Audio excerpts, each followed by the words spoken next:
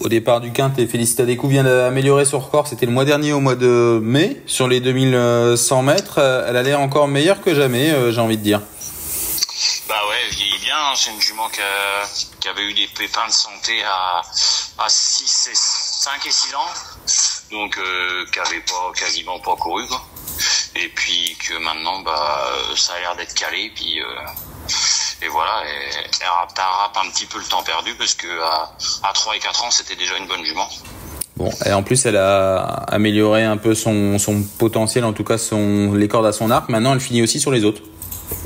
Ouais, ouais, ouais. Euh, comment Elle est meilleure en venant de derrière et tout. Euh, avant, je la préférais courte, courte distance. Maintenant, je pense qu'elle est encore meilleure longue distance.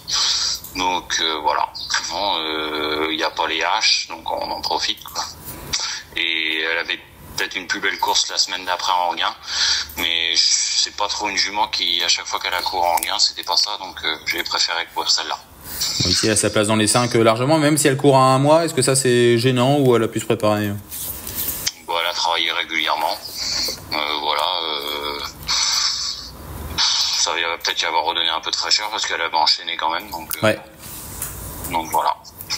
On la place dans les 5 bah ouais, normalement, si elle fait sa course et qu'elle a un bon parcours, elle, doit être à l'arrivée.